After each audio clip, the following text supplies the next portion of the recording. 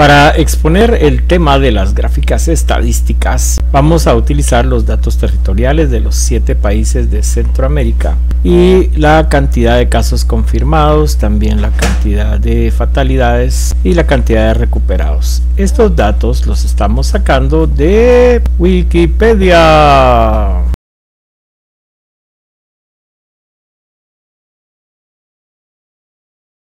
Vamos a utilizar una tabla simplificada ya que la tabla original pues contiene mayor información, mayor cantidad de parámetros, pero para demostrar cómo formar gráficas estadísticas utilizaremos los datos de los países, su población total, la cantidad de contagios de COVID que se han reportado y la cantidad de fatalidades que se han reportado.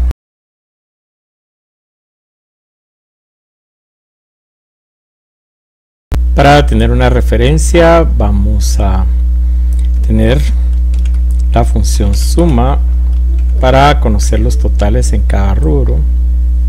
Y suma de población en Centroamérica 49 millones 338 mil personas. Esto es hasta el inicio del año 2021 y contagios acercándose a un millón 831 mil 26 contagios reportados, fatalidades reportadas 17.649 y aquí sería interesante conocer la cantidad de personas recuperadas y los casos que están activos, pero esto no aparece en la tabla original.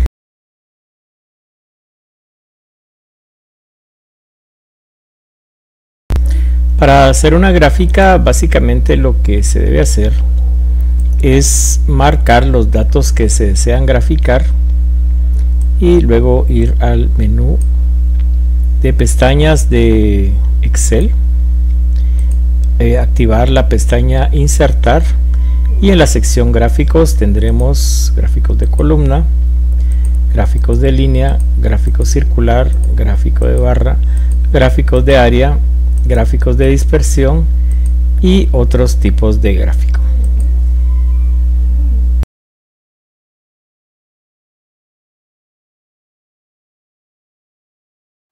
Para obtener una gráfica circular debemos marcar los datos, ya los tenemos marcados.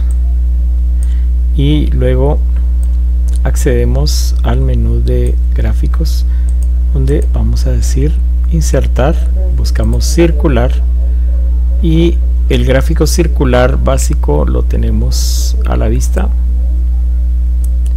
que el cual aparece con este aspecto básicamente. Y ahí no nos dice absolutamente ninguna otra cosa acerca de la gráfica, por lo tanto tendremos que aumentar el rango de información que estamos marcando.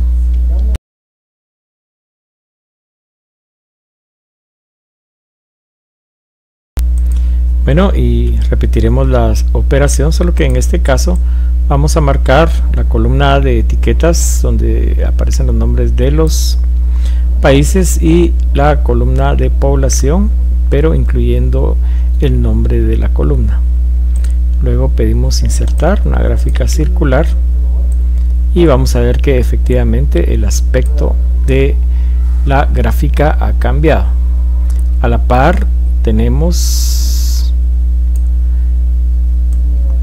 una clave de colores y en la clave de colores aparece el color y el nombre del país que representa.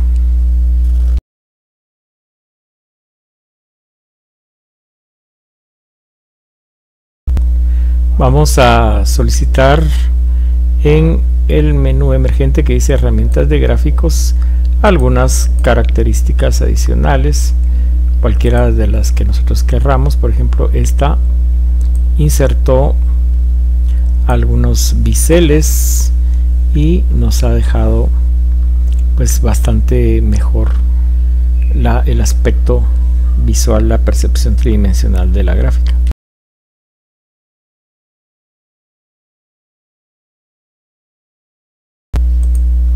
Vamos a ver entonces cómo aumentar la calidad de la información visual que tiene el gráfico circular básico. entonces atentos a esto tenemos que hacer clic sobre el gráfico y al hacer clic sobre el gráfico nos aparece una pestaña que se llama herramientas de gráfico. Ahí buscamos la opción diseño. Aquí está la opción presentación la opción formato pero vamos a ir a diseño.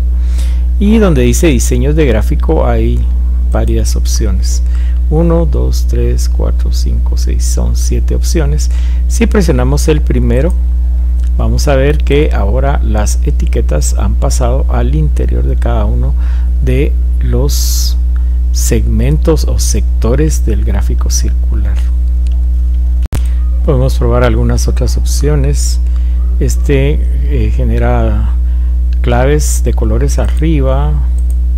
El otro genera claves de colores abajo pero elimina el título del fenómeno estudiado. Este nos lleva a colocar simplemente porcentajes y tenemos otro que nos quita cualquier otra referencia.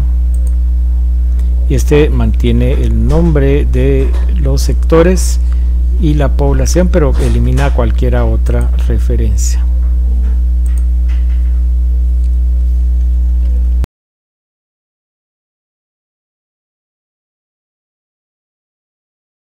Las gráficas circulares tienen una característica única.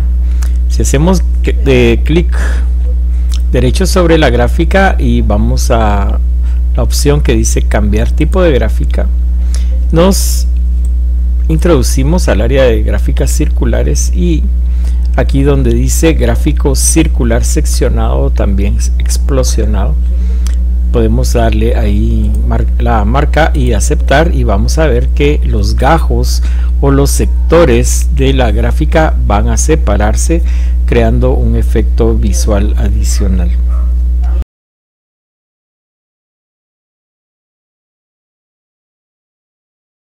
Tenemos otra característica interesante de las gráficas circulares que vamos a mostrar en este momento. Vamos a copiar nuestra gráfica para mostrar la diferencia.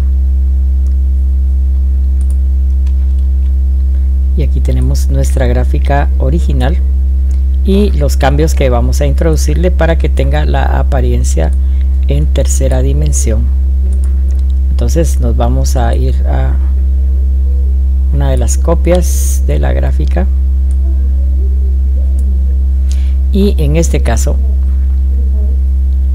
vamos a hacer clic derecho vamos a cambiar tipo de gráfico vamos a seleccionar gráfico circular 3D y vamos a solicitar aceptar.